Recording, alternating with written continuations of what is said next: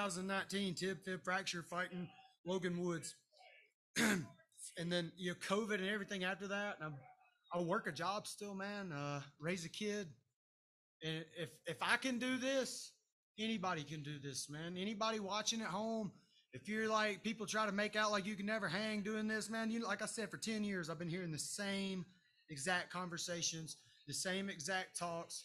And all you got to do is get up, walk the walk, bite down on your mouth guard. Nobody's going to be mad at you for losing. Nobody ever remembers a loser if you remember correctly. Like they don't, they rem- because it's easy to forget. You're looking forward to the winner's next move, right?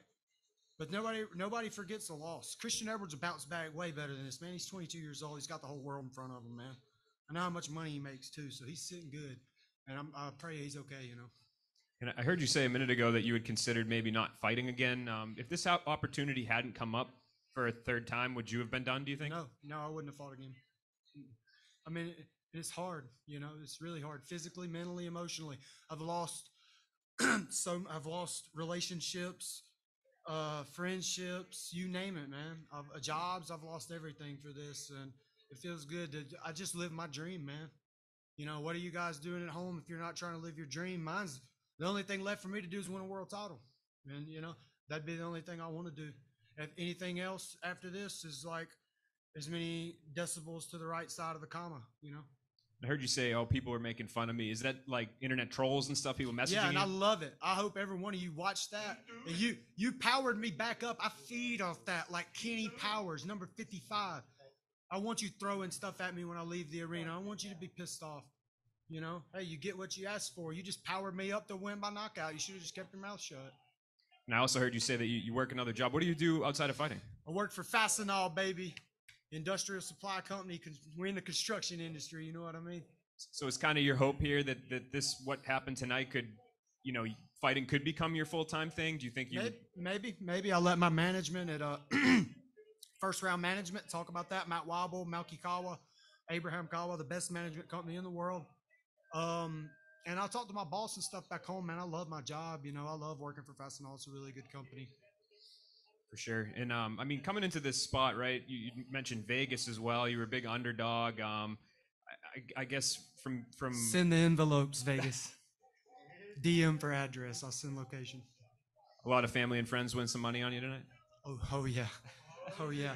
I got more. I mean, I got a lot of people. I ain't even got my phone right now, man. But I imagine it's vibrated all the way out of the bag it's in. And I got to ask you too. I mean, everybody isn't calling you Ben Parrish; they're calling you Big Tuna. Where does that nickname come from? Like, what's the origin of it? Tony Big Tuna Accardo from uh, I think he's from Boston, Mass. He's a mobster. My dad was a mobster. Runs in the family, man. I'll leave it at that. You don't want to ask too many more questions than that. Uh, Ben, Construction industry. Absolutely incredible performance tonight. Thank so you. with this win over Christian, he was ranked. So I assume that you will also be in those rankings, Top ten Ben, baby. top ten. So how does it feel to go from almost not fighting again to seeing your name most likely in the top ten by when they Man, update? My boy Tim right there, man. Look at him. He told me, when you feel like this, you talk to a lot of guys at the top. When you feel like this, that's when your breakthrough happens. He wasn't lying, man. He's telling the truth. I saw that glimmer when he said that to me. I was like, man, maybe he's right. At the same time, every, I mean, it's the mental struggle. I'm sure you guys hear about it from fighters all the time. I get in the ring and I look across and I'm like, man, this ring's kind of small. And then I look across and he's like super big. And he's not the biggest guy I've fought either. Teddy Holder definitely takes that one. He's built like a deep freeze, same height, but deep freeze width. And I was like, man, he's finna just kick, just kick me and kick me and kick me. And I, I felt his, uh, I felt his first shot, and he kicked me with that oblique kick, and I didn't even feel it, man. Like I got 55ers back home, like Ontario Gladney on the undercard, and Lodge Mitchell. They hit way harder than he did, and I ate it, and I was like, yep, hit me again and see what happens. And he stood there and clocked him, told him, told my boss, left hook over the top. What'd I say? What happened? That's exactly what happened. So quick night at the office, obviously under a minute. You have a After lot of all like people talking. So I'm wondering, when do you want to ideally get back in the cage next? Um, not sure. Uh, talk to the management, talk to the company.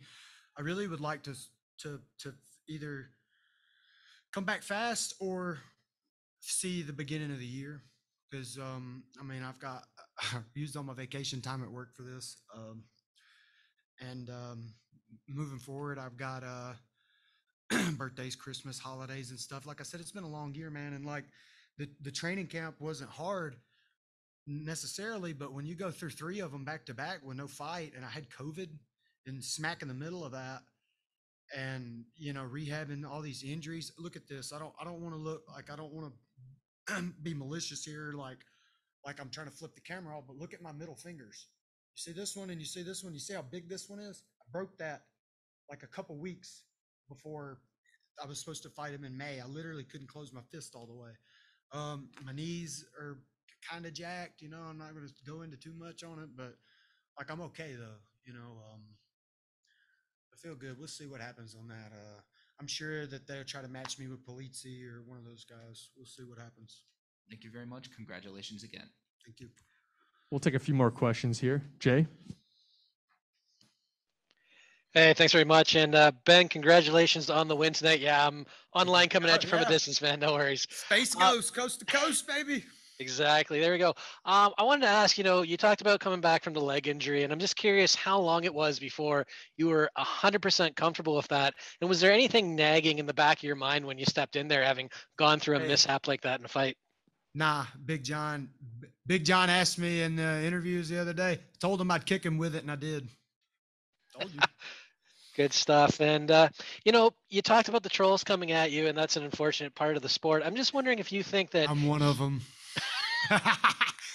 appreciate the candor. Um, I, I'm wondering if you think that he over or sorry overlooked you at all uh, coming into this, perhaps. I, I think so. I mean, he was nervous and but relaxed at the same time. And I've been there, man. I've been undefeated two different times as amateur and as a pro, and people gassing you up, and you're just kind of like, yeah, I'm the best, whatever. But you're also in the back of your mind, like, man, you know, was this guy really made of? And um, I think I've got that point across. Absolutely. Well, congratulations again on the win tonight. Thank you. Kobe? Hi, Ben. Awesome fight. Instant fan. Love the way you starts the top 10 guy out of nowhere. that was just amazing. But I got to give you props for the Richard paperwork. Sherman quote at the end. I got to give you props for the Richard Sherman quote at the end. You a Seahawks fan? Uh, I've been to Seattle. I wouldn't say I'm a Seahawks fan, but I like Richard Sherman. Uh, let me tell you who um, I want to see this is Dak Prescott. He watched me fight his coach, who's a great fighter, Bob Steiner, in uh, 2012 or 2013. He was Mississippi State's uh, strength and conditioning coach, and the whole Mississippi State football team was there. And I'm a lifelong Ole Miss fan. My mom graduated at Ole Miss. She's taught special education for 32 years. so n- knocking him out in front of Dak Prescott and the whole Mississippi State Bulldogs team, that's even kind of better than this tonight, to be honest with you. That's bragging rights for eternity. So Dak, contract man, what's up, baby? I know you remember. Nice, nice. Good fight, buddy. Thank you. Last one. Chris? Ben, Chris Connor here. Last call. Uh, congratulations on the big win. You mentioned the trolls and the haters. How much of motivation was it also when? And look, I'll take blame for this. Every media person was going, okay, well, this should be a, a showcase fight for Christian Edwards. He's the professional athlete. He's Right. the favorite. How much does that motivate you, knowing that All of it's it. the media, it's the fans, probably was that? Bellator, and hey, you're the patsy. You're supposed to lose, and all of a sudden now you can tell us where where to eat crow, and where to stick those uh, ten thousand balloons for the celebration.